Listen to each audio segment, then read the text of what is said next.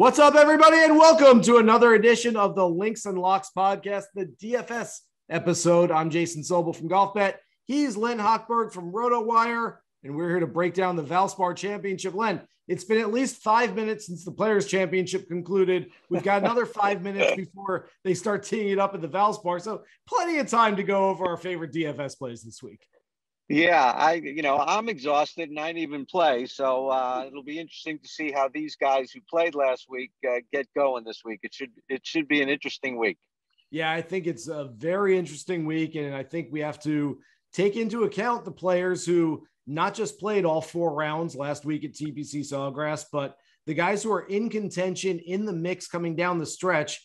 That's a lot of golf. That's a lot of physical and mental energy they exerted last week, and how is that going to affect those players? I'm thinking specifically about a Keegan Bradley who finished in fifth place last week, a Viktor Hovland who was in it uh, until the last few holes on Monday afternoon. I, is it going to affect those guys? Is it uh, is it going to be a matter of them, you know, having enough energy left over to continue playing some good golf at the Valspar this week? I, I don't have a great answer to that. I, I think maybe there's good reason this week to make a few different lineups, maybe one where you go with guys who played really well last week, hoping that they step on the gas pedal, and maybe some lineups where you completely fade those players and go with guys either who are coming off missed cuts, who didn't play last week, or who maybe didn't play that well, were further down the leaderboard, and weren't necessarily uh, exerting that sort of mental energy down the stretch.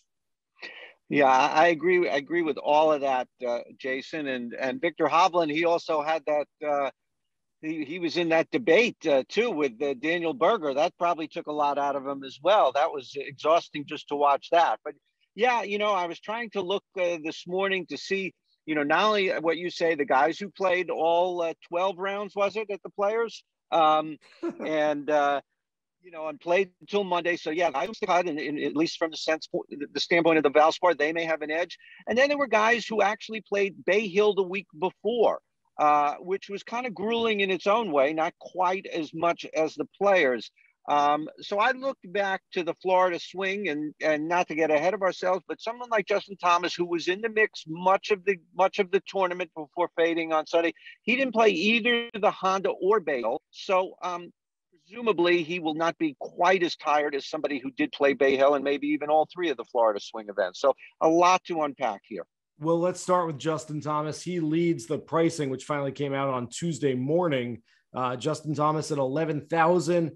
And he's followed by a bevy of superstars. Not a bad field this week at the Valspar at Innisbrook, uh, just outside of Tampa. JT followed by Viktor Hovland, Collin Morikawa, Xander Schauffele, and Dustin Johnson, the guys who are over that $10,000 threshold this week. Of these players, who are you looking at? Quite frankly, Len, I, I could flip a coin, go with any of these players or none of these players. And I'm not sure I have a great take on this. What's your sense?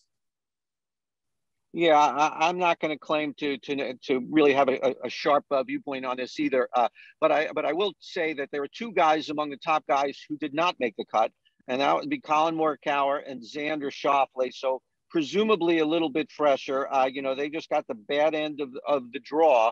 So, uh, I mean, I think Collin Morikawa, you, I kind of like him almost anytime, any sport, anywhere. Um, but certainly this week, uh, even though he hasn't played Valspar before, but I do like Justin Thomas as well. He's only 11,000, not a lot for a top guy. Um, you know, and like I said just a moment ago, he didn't play Bay Hill. He didn't play the Honda. So yeah, he, he did have this one tournament, but a little bit, uh, a lot of rest before that. And uh, Louis Oosthuizen has played this tournament well before. He did play all four rounds at the Players, but was not heavily in the mix on Sunday. Um, he's just outside the 10,000s at 9,900. Um, yeah, that's who I'm looking at right there at the top. Yeah, I tend to agree with you there. I, I like JT every week. And so can JT go to Innisbrook and win this golf tournament? Of course he can. He's certainly good enough to win on any given week. If you like him, go for it. Viktor Hovland, uh, boy, I, I'm not sure that there's a player in the top 10. There's not a player in the elite class of players right now who has one single uh, detriment to his game. Uh, most players are in the top 10 because they do everything really, really well. Viktor Hovland does everything well except chipping. If he can hit 18 greens in regulation every day, he might be the best golfer in the world, but he gets around these greens And boy, whatever greens they are, he has trouble chipping from around the greens. And so uh, that's going to be a little bit of an issue for him moving forward this week. I, I still tend to like Hovland a little bit. If we're talking about guys who are going to be tired after being in contention, at, least a 24 year old who's been firing on all cylinders for the last handful of months uh, should be able to bounce back pretty quickly. So I do like Hovland, Morikawa again, it, it, just like JT. He's a ball striker. I, I take nothing from uh, what he did last week and missing the cut, the wrong side of the draw. Uh, you basically just chalk that up to uh, bad luck and move on. And I, I, think he could have a good week. And then Dustin Johnson coming off a 63 on Monday, where it really out of nowhere. And Dustin Johnson's a, a very unique case right now in the fact that in his last 14 starts dating back to last summer, and this tells us more about ourselves and how we look at players than uh, the players themselves, maybe. But DJ, last 14 starts, zero top five finishes. You see that? And you go, oh boy, DJ, former number one player, not playing that well. But you also look at it and say, during that time, he's got seven top tens. That's half of those starts. Okay, maybe he's contending. Yeah, he's playing really well. 10 top 25s. Wow, really high floor for DFS purposes.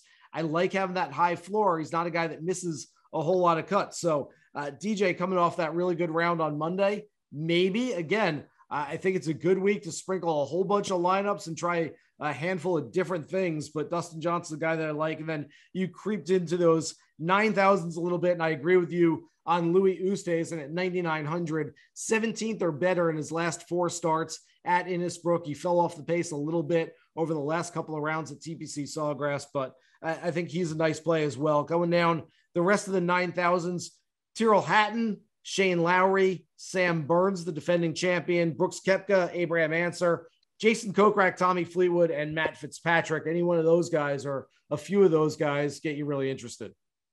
Yeah, again, it's really hard to, to, to find some separation. Uh, you know, I do like Tyrrell Hatton. Shane Lowry is just playing well every week. Um, you know, he might be a, candidate to avoid because of Florida burnout, and and you know, and he even got caught in the rainstorm at the Honda. So he's been in a lot of weather uh, lately. Granted, an Irishman can withstand it, but he's been playing a lot and playing well. Um, he just didn't have it on Sunday, but I kind of think he should be energized coming back to this tournament. This was his maiden win uh, last year and played so well. I think that uh, he'll perk up when he gets on, and he'll be the big man on campus at uh, at Copperhead. Uh, Matt Fitzpatrick, uh, way down at nine thousand, you know, happy to see him miss the cut, at least from the standpoint of he's a guy I could turn to this week and at a pretty favorable price at 9,000. And uh, getting ahead of myself, jumping back up to 9,200, Jason Kokrak, good history here, still putting well, still has not lost the magical putting stroke that came out of nowhere a couple of years ago. Uh, so those are some of the guys on my radar in the 9,000s. Yeah, I feel very much the same way. Tyrrell Hatton's playing some real nice golf. Uh, doesn't have much of a history in Tampa, but that doesn't worry me too much. Uh, 9,800 is a big price for Hatton, but I think he can have a nice week. Same as Shane Lowry. Sam Burns uh, looked like he wanted to uh, take a week off. He looked like he wanted to be somewhere that wasn't on a golf course this week, but he's defending his first PGA Tour title. You have to go back to those. He has to play. Wouldn't surprise me to see Burns uh, not around on the weekend this week. And I love Burns's game. I'll be back on him very soon, but I won't have much Burns, uh, if any, this week. And Kokrak, you mentioned Jason Kokrak uh, with a nice course history. There aren't a whole lot of course horses at Innisbrook, but he is certainly one of those guys that uh, is a big hitter. You don't necessarily have to hit the big stick off the tee all the time. I think there's an advantage to being able to hit some long irons into the fairway and still be able to, to get it out there and have a decent iron into these par fours. So Kokrak's a guy that I like a lot this week as well. All right, getting down to the 8,000s, and I'm starting to get into some players I like a little bit more here, uh, including Bubba Watson, who's got some great history, played well for two days or four days, whatever the first two rounds were last week at the players. But Bubba's a guy that really works the ball. And, and I think that's what you need at Innisbrook, a guy that can work the ball both ways. And that's exactly what Bubba Watson does. That probably speaks to his success on this golf course in the past. Gary Woodland is maybe my favorite outright play this week. Big number in the markets. He's uh, 65, 70 to 1 in most books. And I love that number for a guy that was top five at both the Honda and the API. I'll have a lot of investment in Gary Woodland this week. And then Keegan Bradley, again, uh, runner up at this event last year. He was in the mix coming down the stretch, finished in fifth place at the players. Just a matter of can he kind of reload the tank and, and get some more gas going into this one?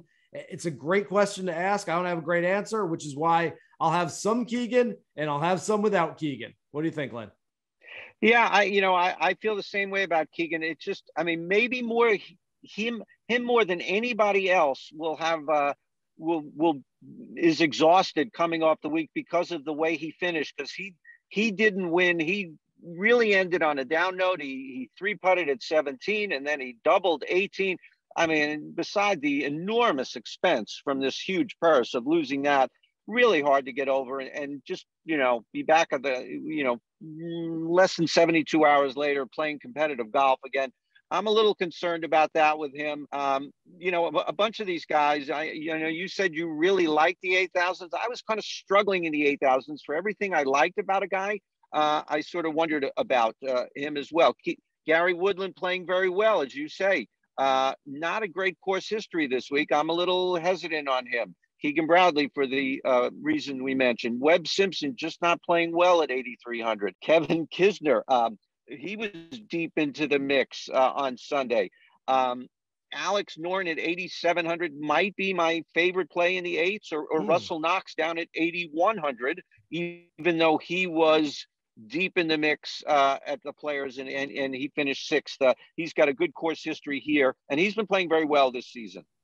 All right, let's get into the 7,000s. And I'll have a lot of guys in this area. I, have started making lineups with uh, a lot of times four guys in the 7,000s. And there, I think there's a lot to choose from. We'll get to the 6,000s in a minute. There aren't many guys on, on that bottom level that I like very much. So I've made lineups with four guys in the 7,000s and then two of the uh, upper level guys uh, plugged in at the top of the lineup. And so I, I, think that's a good lineup construction this week. I'm just going to reel off. I think I got 10 names here in the 7,000s. So, real quick going down the board Christiaan Bezuidenhout, Aaron Wise, Jhonattan Vegas, Doc Redman, Lanto Griffin, CT Pan, Adam Svensson, Mito Pereira, Matt Kuchar, Branden Grace. I, look, not all 10 of them are going to play really well this week, but I think if you have a nice little combination of some of those names, that you can get some value back and, and put them with, who knows, a, a Tyrrell Hatton and a Louis Oosthuizen up top. I think that could be a good way to construct some lineups this week. What are you looking at in the 7,000s? Yeah, there are a few guys. I know. Uh, I think the one name that I uh, that uh, corresponds to what you had. Lanto Griffin playing very well this season, very favorable price at 7,400. I'm going to go a little higher to start off with at Mackenzie Hughes at 7,800. Very interesting to watch him. He's, uh, you know, he's just outside the top 50 in the world right now, um, playing pretty well. The, the Valspar can at times become a putting contest. Burns won last year. Fantastic, fantastic putting. And anytime there's a putting contest uh, that could break out, I'm looking at Mackenzie Hughes at $7,800. Yeah. Terrific short game. Um, Brian Harman, don't know how he's going to respond this week, but I do like Vegas as well. As you said, Denny McCarthy, Annette, uh, Nick Taylor. Uh, somehow he didn't qualify for the players. I don't know how that happened because he's been playing pretty well. So he, not only playing well, but well rested. 7,300. I think he's going to be in a few different lineups for me. There aren't too many good players in the 7,000s and up who weren't playing last week in any capacity. He's one of them. And um, I'm not sure how I feel about Charley Hoffman and Scott Stallings way down at 71, but they do both have good course histories here. Not neither one, especially Hoffman playing well right now.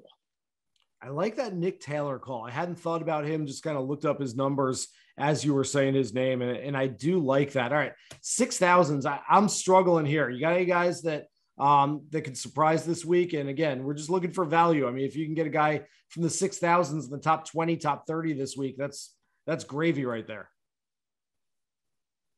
Yeah, I do have a few guys. Um, and because I do think there's going to be so much variance. I think you know the exhaustion factor will play in, and some of the other guys who uh, you know will miss the cut, who guys down in the six thousands didn't play last week. Um, you know, Adam Schenk, I was on him at the Honda when he was only 6,100. He's just not playing well, but he's just not that bad. And uh, he, he, should be he should be playing better than he is, if I can say it like that. Mm-hmm. Anyway, he was 61 at the at the Honda. He's up to 67 here. Talk about inflation. But I do like him uh, as well to at least get to the weekend. And another guy at 67 is Vaughn Taylor. Um, he's made all four of his cuts. You know, he had an injury short in 2021. He's made all four cuts here in 2022. And one of them was at PGA National. He played well here. He was sixth here last year. So I think he is. Uh, I, I, do like him a lot to make the weekend. Those two guys at 6,700 and Danny Lee at 66. I mean, he was another withdrawal last week. Um, it's always on the radar with him, but when he plays, when he plays four rounds, he can. He tends to have some good weeks. He was top 25 at Riviera. He's played well here, uh, and he is $6,600. Danny Lee, really interesting. I don't think I've ever seen this before, Len. He led the field last week in strokes gained on approach shots, and he withdrew. I, am not sure. I'm I'm not even mad. it's just it's remarkable. I I don't get it, but um, you're right. Maybe there's some value there. I I wrote down a few names from the six thousands: Joseph Bramlett, Trey Mullinax, Wyndham Clark. If you want to take some uh, some long shots there and, and be able to save some money, those are some guys, especially Clark at 6,100, has a nice little skill set. I believe two made cuts in two starts at this one. And again, if a guy at 6,100 just makes the cut for you, opens up some salary elsewhere. So maybe that's not a bad play. But again, I'm I'm not targeting the 6,000s too much this week. All right, let's get right into making our lineup for this week. And again, there's I'm I'm looking forward to this, Len, because based on what we just said for the last 10 minutes, there's a lot of different ways we can go with all this. I will leave it up to you with the first pick and uh, where are you going with it? Well, I, you know, I shouldn't uh, keep us in suspense any longer. I think we were both in agreement. We both like Justin Thomas this week. He actually was playing very well before uh, the players and, you know, just making through through all four rounds. He was 30 30, didn't have a great day, but he had a pretty good tournament. And there were some nice you know, he was on TV where, where I was watching, and, and I did see some good play from him. Uh, and again, he did not play the two weeks prior. He should be able to regroup quickly this week. I like him this week and with the good course history at the Valspar. Okay, I like that. And like I said, there are a lot of guys in the 7,000s that I like. So we can certainly get a couple of the studs in the lineup and then save some money elsewhere. And I'll do that with my first play. And a guy after I reeled off all those players in the 7,000 range that I liked, and one that you said you liked as well as Lanto Griffin. Um, missed the cut last week, which again, I don't think is necessarily a bad thing. Might be a good thing to take some guys that missed the cut last week. He had made nine cuts in a row before that. So he's a guy uh, with a pretty high floor. He's played well at Riviera, which is a nice little correlation to Innisbrook, I think. And so at 7,400, I think it's a nice price for, for Lanto Griffin. Yeah. And I, and I agree with you. The, again, that, that don't look at a miscut from last week as a, as a detriment. It, uh, you know, first of all, we, we tend to take these snapshots and if a guy has one bad week, we fade him. And that that's probably poor thinking just in general, but especially last week. There's just so many, so much variance from last week and guys on just the bad end of the draw that I really don't hold it against anyone uh, other than maybe exhaustion. But that those are the guys who played all four rounds. Um, my my next pick, uh, I'm going to go right below Lanto. Just mentioned a moment ago, Nick Taylor. Yeah, I don't know how. I mean, I thought everybody uh, in under the sun gets into the Players Championship. Somehow he didn't get there, but that may work out to our advantage this week. Um, playing pretty well. Uh, played well at the Honda. Played well at the Bay Hill and he's only $7,300. He can fit in a lot of lineups. Yeah, like I said, I, I, like that play. I hadn't thought of him. I'm glad you brought him up because I think that's a really smart play. Adam Hadwin, fellow Canadian with a similar type of game, has won it in Innisbrook in the past. So I think Nick Taylor is a nice play there. All right, I'm I'm gonna spend a little bit of money here. It's not a lot. We've got 8,100 per man left to spend for these three plays. I'm gonna go to 8,500. Another player that I said I liked a lot this week Another guy coming off a miscut, but he was on the wrong side of the draw and he had a couple of top five finishes going into the players in Florida. That's Gary Woodland. I think is a really nice play. in all marketplaces this week. I, I, like him for outrights, top fives, top tens, and I will have him in a lot of DFS lineups. Yeah, I you know if he uh, certainly plays the way he's been playing recently, uh, you know I he should be able to play this course well. He should be a good fit for this course. So uh, we will see. I hope that works out. Gary Woodland won this event back in 2011. Although the last six years, last six times he's played, nothing better than 40th four miscuts. So I I don't know how to really factor that in. It's like yeah, he's got some great course history. He's won here, good vibes, good mojo. He's got some terrible course history. The last six years, he's done absolutely nothing. I, I, just chalk it up to hey, if he's playing well, he can go out and play well at this one. Yeah, very surprising. When I, I was I was all set to put him on my list, and then when I saw what you know the, the last few years here, it was just just stunning to me. But um, certainly has the game to do well here. So what are we? We're talking. We can't go here to fill out our lineup here. So I'm not even going to go up to the the nine thousands. How about right at um, at 80 at 8100 Russell Knox uh, coming off a six last week at the Players. A bit bit of a concern, but um, but has played well this this season. Made six of seven cuts and really um, strong iron play. Second on tour in greens and regulation. Uh, that sort of thing never goes out of style. He did not play Bay Hill the week before Sawgrass. So um, I'm hoping that he his recovery will be a little bit quicker than some of the guys who played both tournaments. All right, uh, we've got 7,700 left to spend. I, am considering Kevin Streelman or Aaron Wise, who are both at that number. I, I like each of those guys. Aaron Wise, the guy that hasn't played his best golf, but I sort of want to jump on him while he's still at this price because quite frankly, I, I think he's going to have a good year and it hasn't happened yet. So you want to buy low, sell high. But instead, I'm going to go a little bit lower 7,500. Jhonattan Vegas was a popular selection going into the players. He was in the top 10, put a couple balls in the water on whatever day that was because all my days are messed up at this point, but it was in the second round, put a few in the water and within an hour had missed the cut. It was a, a really strange set of circumstances towards the end for Vegas there, but I don't like him any less. And again, I, I just wound up taking three guys for this lineup that all happened to miss the cut last week. It might not be a bad strategy. So there we go. We've got Lanto Griffin, Russell Knox, Nick Taylor, Justin Thomas, Johnny Vegas, and Gary Woodland. What do you think, Len? Yeah, I think that's a, a good way to go. Uh, there's certainly an argument to avoid the six thousands, although I did uh, put you know point out a couple of guys, but not the strongest plays. So I, I think uh, you know a balanced lineup is is certainly a, a sound play this week at the Valspar. All right. Well, let's hope that we can figure this one out. He's Len Hochberg from RotoWire. I'm Jason Sobel from GolfBet. Remember, you can find the Links and Locks podcast wherever you find your favorite podcast. Download, subscribe, rate, and of course, listen every single week. Good luck with your DFS lineups for this week's Valspar Championship. Here's hoping you guys hit the green.